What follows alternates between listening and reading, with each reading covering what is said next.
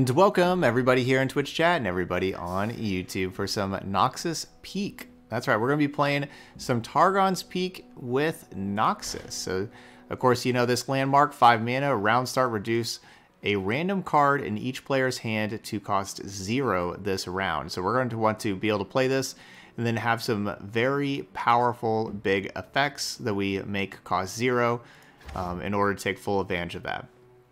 But first, before we get there, let's kind of take a look at our, our deck. Early game, we're going to be having Zoe along with Aurelion Sol in this deck. And basically what Zoe's job is, is to slow the opponent down, right? Like it's a one mana, one one elusive that's really good that the opponent's gonna have to be like spending removal spells on it and everything like that.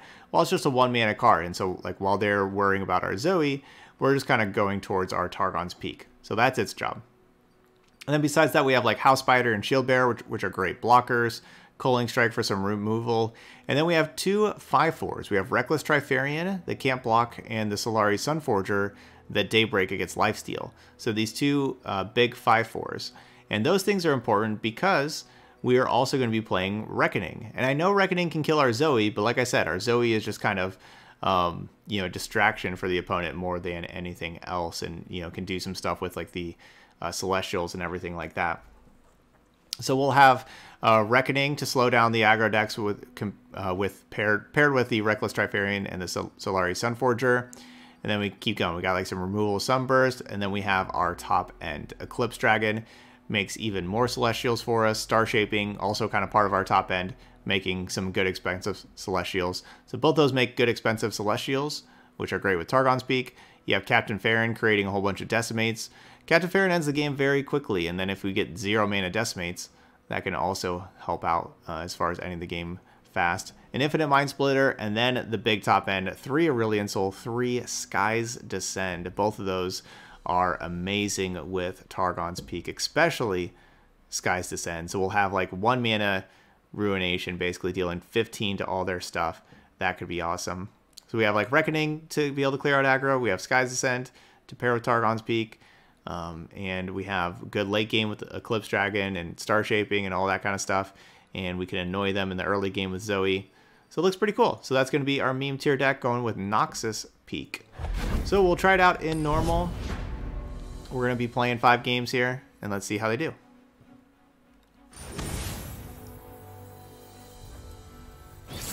Alright, looks like we're playing against an all-in Fiora deck. So against an all-in Fiora deck, I actually just want, um, I guess barrier cards, barrier cards stop the Skies Descend.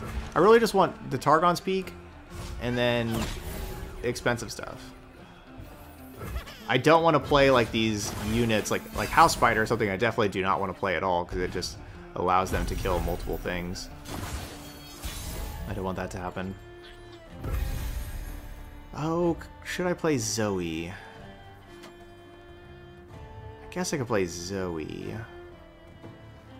That will give them one Fiora kill. I guess that's okay. Strength and grace, beauty in the blade. Yeah, so channel point predictions up. Yeah, Fiora kills Zoe, but we get the super cool star chart.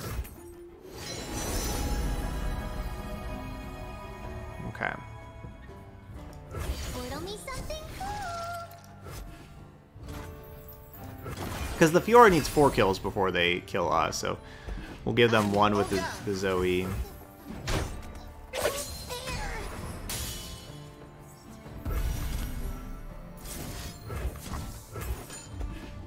Sunburst should be pretty good.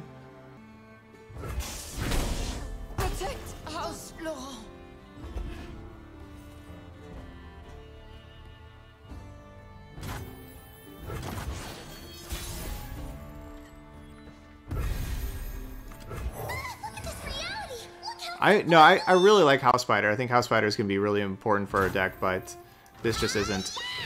You know, this just is not the House Spider matchup, right? Like I, I don't want to play Shield Bear or House Spider or anything like that. But I, I really like having the House Spiders. Um, Moon Silver or Messenger. Moon Silver uh, like makes our Eclipse Dragon a lot better because we get to Moon Silver into Eclipse Dragon like this next turn. Um, but Messenger would help us find like Targon's Peak, but we're not really that great on Targon's Peak anyway, so i will take this Moon Silver. So it looks like they are struggling to find another Fiora, and yeah, they so they they had the one Fiora, but Sunburst is kind of perfect against this deck, right? Because it silences, and then so like they can't go barrier, they can't do anything, and so they only had the one Fiora. We Sunburst it. That's that's the game. Yeah, that, that's what that deck does. It's just that deck is completely all in on Fiora, and it's just kind of dead, kind of dead to Sunburst because none of the stuff that they want to, um, none of the stuff they they want to use to protect Fiora works. And so they have three Entreat, three Fiora, and it's only six cards that matter, and we killed one, and they didn't have one of the other five. They forced us to choose death or the blade. Alright, so death or the blade.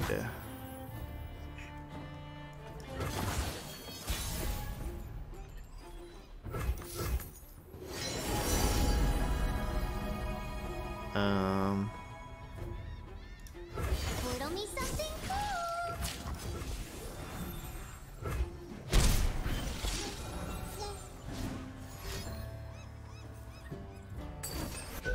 out of the way. That's not what I was expecting. So I, last turn they passed, I passed because of Diana. I didn't want, like, I think they were thinking, like, maybe I play something, and they go dust Diana. Um, I'm not really that close to Reckoning right now. So I do have the ability to play Targon's Peak this turn, but I don't have anything that good for Targon's Peak. TBH. I'll still use that right now so I don't just completely pass the turn if they do, you know, if they pass to me. But I don't, I don't have to, like, cast it. Um...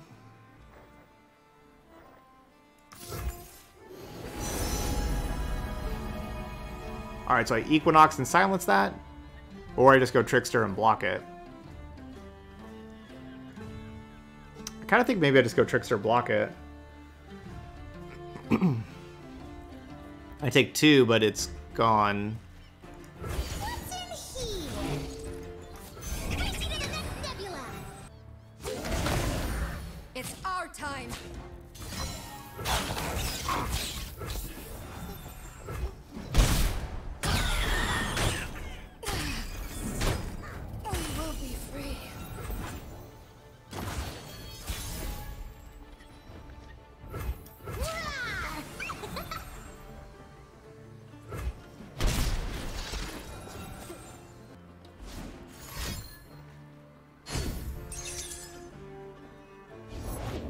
Mother Moon veil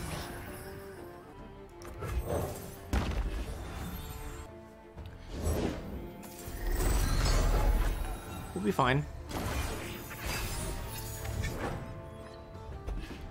Sleepy trouble bubble.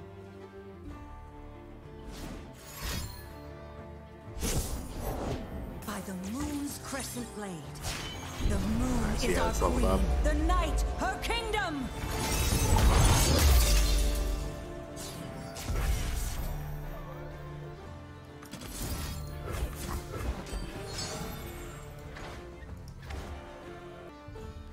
Uh, no, Culling, Culling Strike's too... That's too risky, trying to Culling Strike a Diana. With them being able to play another Diana fairly easily.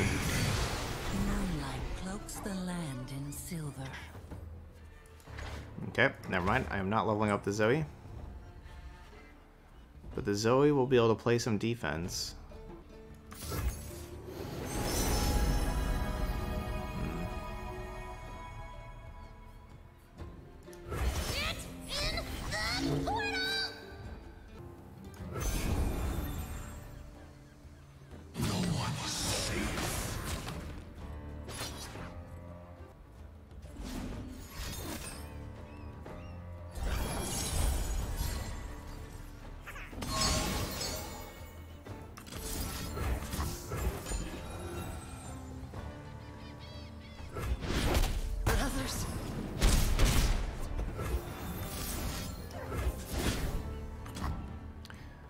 So do I kill Nocturne or kill Diana? I guess I'm, I guess I maybe have to kill the Nocturne.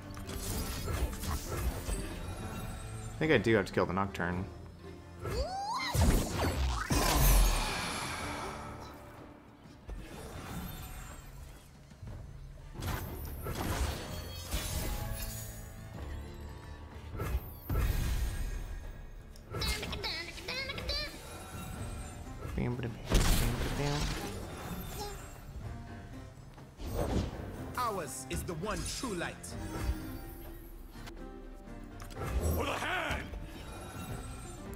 I probably should have played two cards first and it before attacking them and before making this this thing.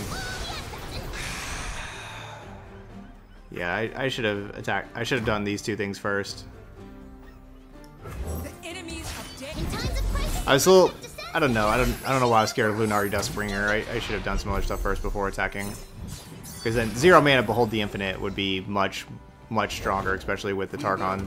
Oh come on, really? Rekindler?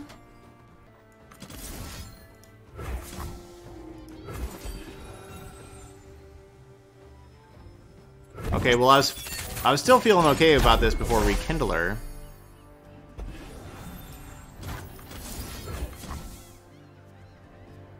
Zero mana Rekindler. Thanks, Targon's Peak.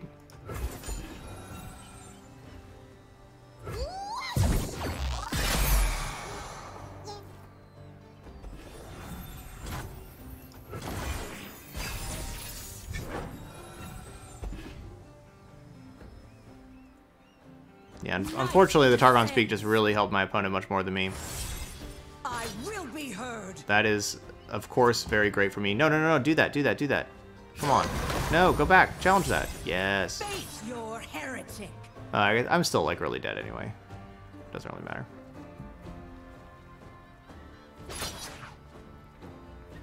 Alright, but they... I mean, they did a great job of, of having their champions, right? They had three Nocturnes and a Diana.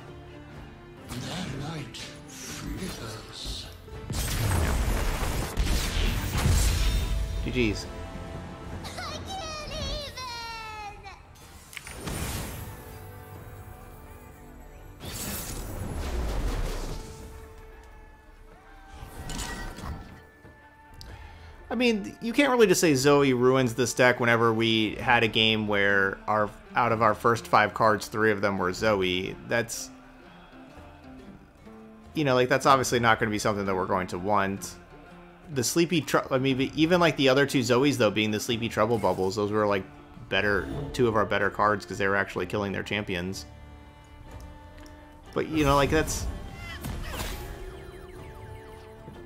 that's kind of short-sighted to- to look at one game where we didn't draw any top end and just had all Zoes and then other like two and three drops and then just say that Zoe ruined the deck. That's that's just uh, much too small of a sample. yeah, so this this hand is just all uh, Targon's Peaks, I guess.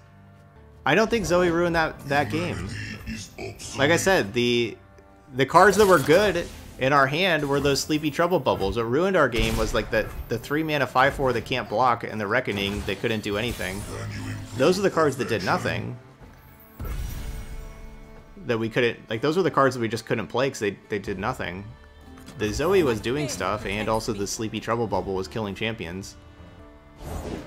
Join the glorious evolution.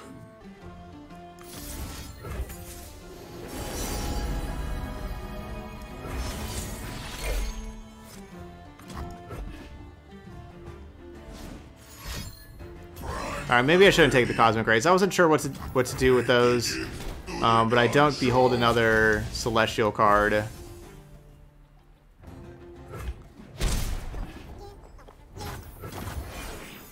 Can you improve perfection? But as you can see, it, it looks like a pretty tasty Cosmic Rays. As long as, yeah, so I, maybe the Cosmic Rays is good. As long as they don't kill us right away, Mine likes them. we are going to be doing some crazy stuff.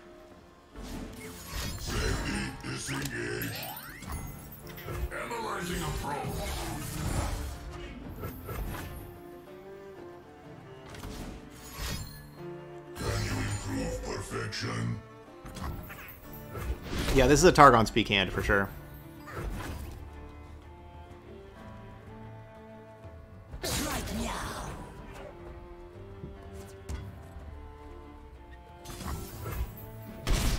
This is a Targon's Peak hand. Yeah, I would I would have blocked Victor for sure. Yeah, I who need it. I'm throwing away like these things don't matter.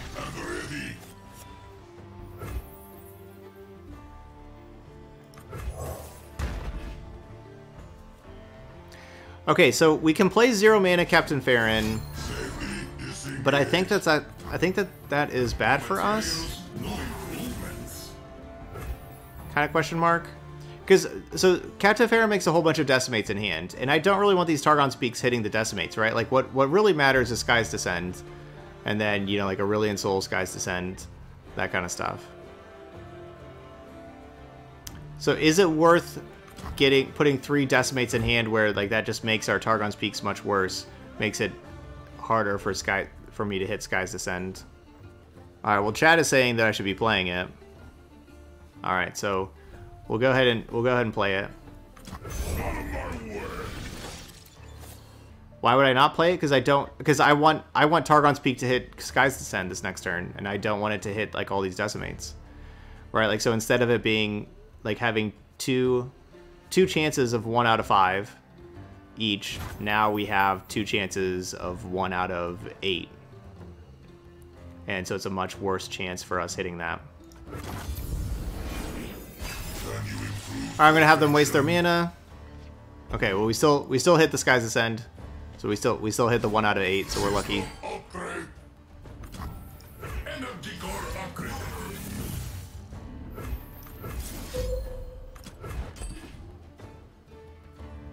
You can definitely pass up a zero mana Captain Farron whenever like everything's gonna be costing zero anyway, like with these Targon peaks.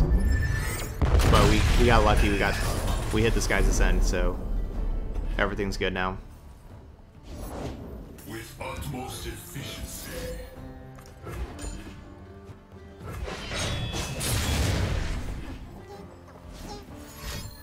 Another brilliant design.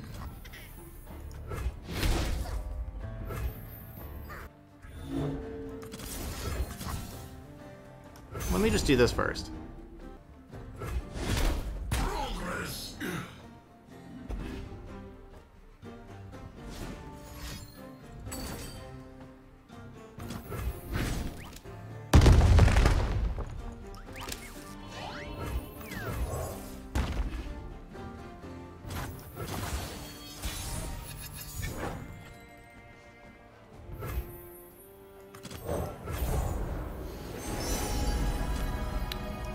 Scourge. Let's rock. Let's rock. So open attack could have maybe done 13, depending on what they had. But I felt like playing an Aurelion Sol is better than that. The Sleepy Trouble Bubble. Still putting in work.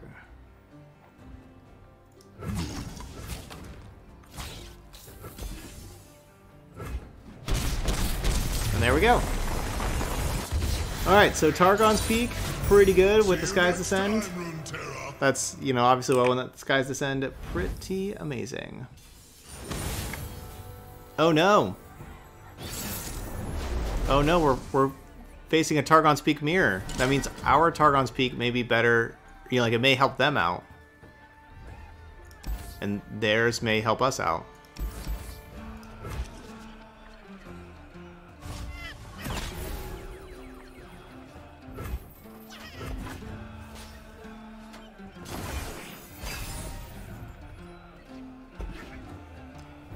Yeah, Aurelion Sol Skies Descend, those are definitely the most important cards. My faith protects me. Um, we're gonna, we're gonna get some aggro going on here though. We'll play we'll play this uh, Shield Bear on two, Trifarian on three. Get some beatdown going on. Because they could feel the rush and get two 10-10s, but then I could Skies Descend and deal 15 to them.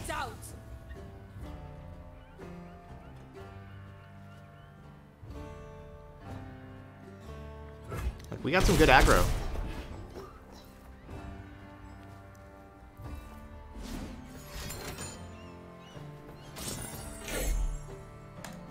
That was 40% of their life total there on turn 3. Not bad, not bad. Ooh, House Spider though, very bad. Shining gifts from the sky. Alright, come on, hit Skies Descend. Two out of five. No.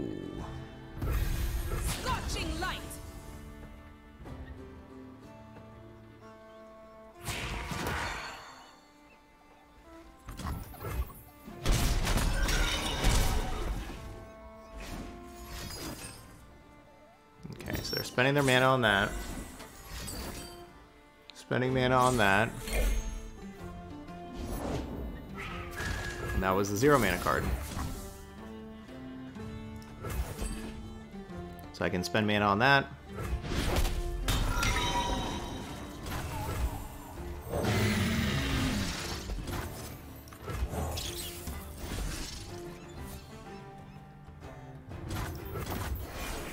Should have done all of that before attacking. No, you hit my Targon's Peak like the worst thing to hit. Why can't you hit my Skies Descend? Sword, her warmth, armor. I guess I just pass, see what they do, because they gotta do something first.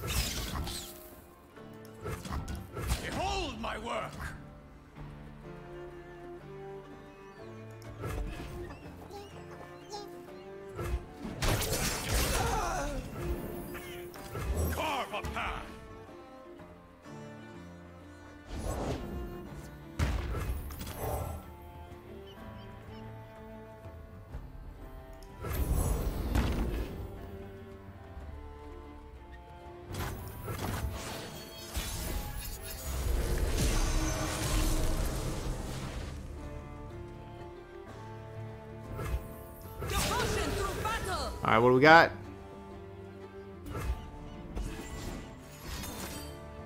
So that puts them about t- 20, and we are attacking for 22, which is more than 20.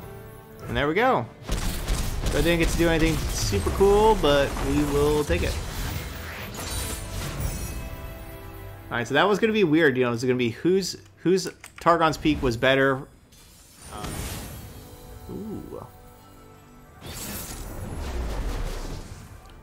Some Heimer Zoe.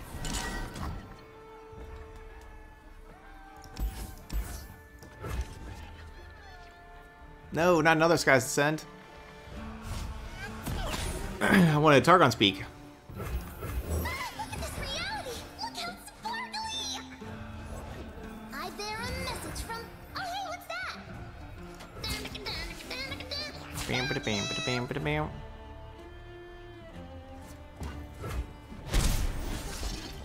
I will take it. Cause I got a super cool star chart now. Yes, Targon's Peak.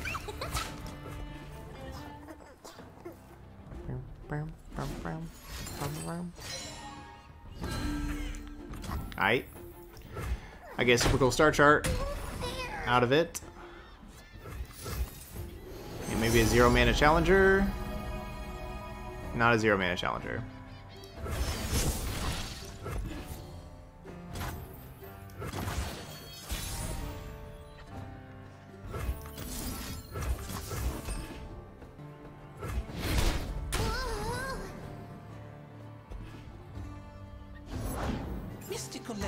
I really hope they don't have Aftershock, right? Like, if they have Aftershock that blows up my Targon's Peak, this is going to be very sad.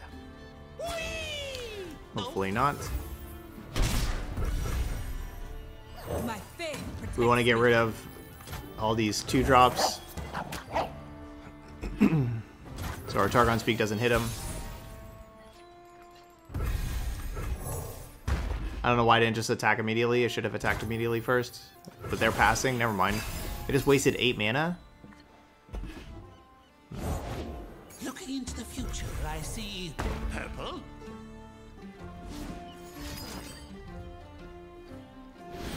Yeah, like, how did they not play anything last turn? I guess they were expecting me to attack. Hmm. Weapons golden as the dawn. Go, floaty crystals. Whee! No. Don't care. All those things are dying. They're all dead.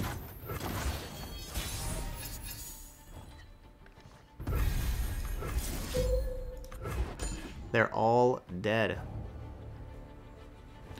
I could probably I could probably just cast like the star shaping first and pass priority to them. And then like Eclipse Dragon pass priority to them, and then Skies Descend. But it's just so much fun playing that card that I just, just kind of played it right away. Mystical levitation requires concentration.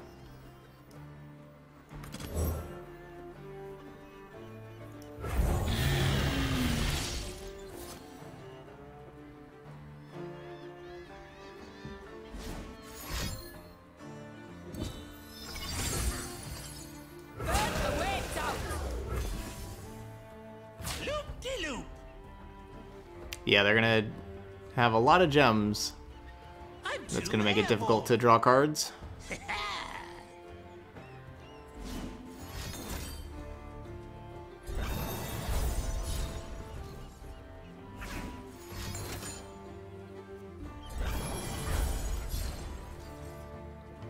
The Hand of Pale Cascade.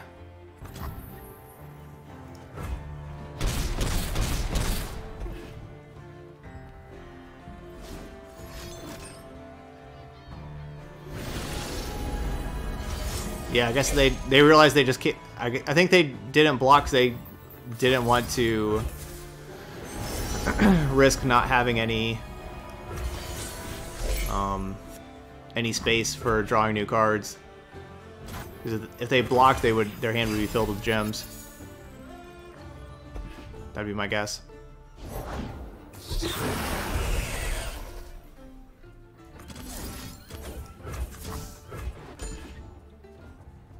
Man, Targon's Peak is silly.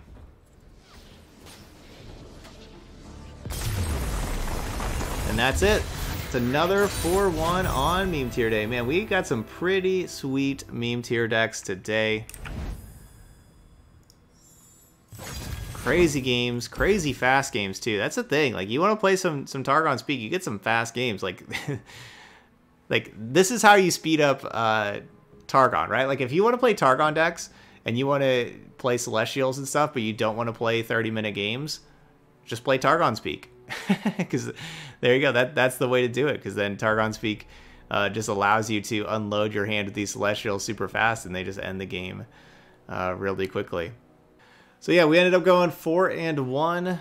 Um, yeah, the peak didn't do much the first game. We had too many cheap cards in hand, absolutely. But I don't think it was Zoe's fault, even though we had the three Zoes, because Zoe Zoe was like the only card that we were playing, and we were playing like the other stuff. It was really like the the fault of the other cards in hand more than Zoe. Um, you know, it's like you know the Trifarian they couldn't block, the Reckoning, like all that kind of stuff. Um, yeah, we didn't. We didn't. Yeah, he said that we didn't get uh, Reckoning for full board, unfortunately, but that's true. So yeah, we didn't get to do too much cool stuff with Reckoning, even though you know, like we had the Trifarian Sunforger Reckoning combo that we were trying to do. But honestly, it, it's just it's just Skies Descend, right? Like that's that's the card, right? Like you just play Targon's Peak Sky's Descent. Like that is the real deal. Like that is not easy for it's it's not easy for like decks to kill you before turn six, and it is kind of easy to have Targon's Peak plus Skies Descend.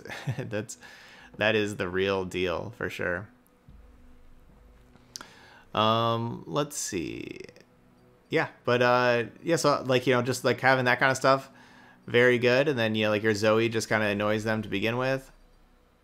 Pretty cool little deck here. You have your Captain Farron creating all those decimates, burn them out like we did on game number four. The Trifarian was also great on game number four with how they were a ramp deck and just playing the three mana five four. That was just really big, and they couldn't really deal with it. The Culling Strikes were good removal. We got to kill a lot of things with Culling Strikes. You know, maybe like a Victor and and a Zoe and stuff like that. Like so, the Culling Strike was good removal, and and uh, we didn't need it too much. But if we play, because we didn't play against like too much like fast aggro, but if we play against those fast aggros, those house spiders are just amazing at blocking. All right, so that's it. That's it. That's Noxus Peak. Those y'all watching later on YouTube, hit that like button over there, and of course, feel free to leave those comments as well. Hope you, hopefully y'all enjoyed the deck. If you tried it out yourself, let me know how it goes. I'm uh, interested to hear how you do with the Noxus Peak deck yourself. But that's all I got here for Noxus Peak, so thank you so much for watching, and I'll see you for the next video.